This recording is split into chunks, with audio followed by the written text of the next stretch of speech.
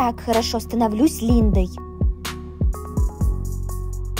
Линда, солнышко, это ты? Да, привет, мам. Иди скорее мой ручки, твой брат пришел на обед. Я помыла руки. Директор? Линда, солнышко, ты что, впервые видишь своего брата?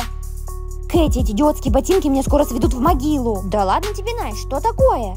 Когда я превратилась в Линду и пришла к ней домой, я узнала, что ее брат – директор. Какого? Что-то слишком много директора стало в нашей жизни. Короче, девочки, в школе происходят странности. То ботинки у учеников пропадают, то ученики ведут себя странно. Ну да, и к чему-то это? А к тому, что в школе пора бы поставить камеры. О, нет.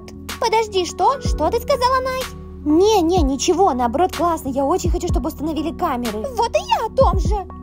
Най, ты срочно должна это узнать. Что такое, Кэти? Я сейчас проходила мимо кабинета директора и слышала, что он хочет зайти к вам домой. О, нет, это еще зачем? Ты не паникуй, ты превратись в свою маму и все выяснишь. Как я надену на нее эти ботинки? Но пока она спит, конечно же, Най, господи, мне что, тебя всему учить, что ли? Мам, ты спишь?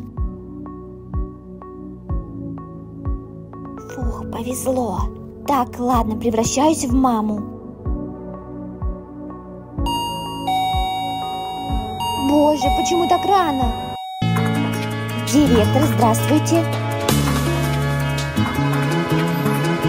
Чего?